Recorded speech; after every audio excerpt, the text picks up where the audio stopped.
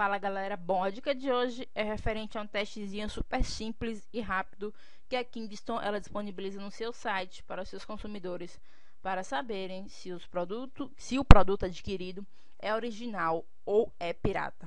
Você vai entrar nesse site que está aqui na tela, tem verificar módulos de memória com as memórias convencionais de computador e verificar produtos de memória flash, como cartão de memória e pendrives.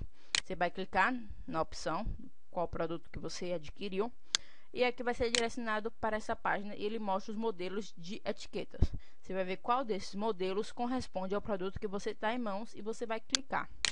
Ao você clicar na etiqueta, será direcionado para essa página onde ele pede informações sobre o produto adquirido, seu e-mail, o o código de autenticação e a chave de licença, que são informações que estão tá na etiqueta do seu produto e até ele explica aqui quais dos códigos são informações sobre o cliente, sobre você, como endereço, nome, telefone, enfim.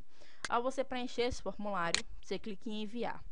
Quando preencher o formulário, clicou em enviar, eles vão enviar um e-mail para você falando se seu produto é original ou é pirata. É super simples e rápido. Vou voltar aqui, clicar verificar módulos de memória, a mesma coisa. Eles dão os modelos da etiqueta, você clica, preenche e envia e na hora eles mandam e-mail falando se o produto é original ou é pirata. É isso aí, valeu, até a próxima e boa sorte no teste.